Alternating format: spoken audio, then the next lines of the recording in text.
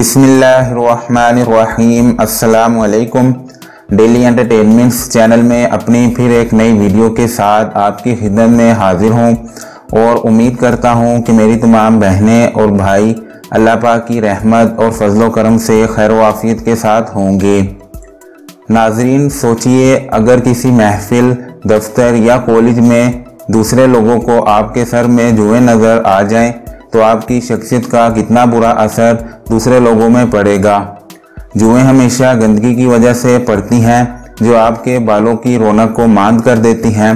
جوئیں عموماً بڑے لوگوں کی بنسبت چھوٹے بچوں کے سروں میں زیادہ پائی جاتی ہیں۔ آج میں اسی کے لیے آپ کو ایک بیسٹ گھریلو ٹوٹکا بتا رہا ہوں۔ اس ٹوٹکے سے آپ کے سر کی جوئیں ختم ہو جائیں گی اور آپ کا سر جوؤں سے پاک ہو جائے گا۔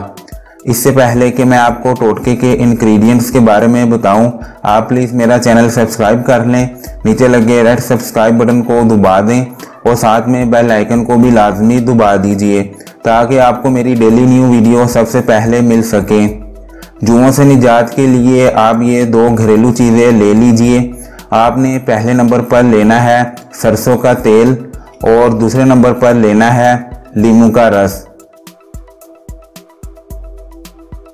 اب آپ سب سے پہلے ایک پیالی لے لیجیے اور پھر اس میں دو کھانے کے چمچ سرسوں کا تیل شامل کر دیں اور اس کے بعد پھر اس میں دو کھانے کے چمچ لیمو کا رس ایڈ کر دیجیے۔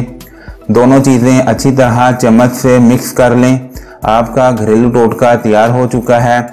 اب آپ نے اس کا استعمال کرنا کیسے ہے؟ آپ نے اس کو رات کو سوتے وقت اپنے بالوں میں لگا لینا ہے۔ اچھی طرح سے بالوں کی جڑوں میں اور پورے بالوں پر لگا لیجیے۔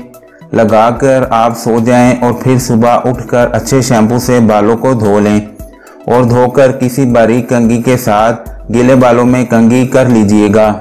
اس ٹوٹکے کو آپ نے روزانہ کم سے کم ایک ہفتے تک روزانہ اپلائی کرنا ہے۔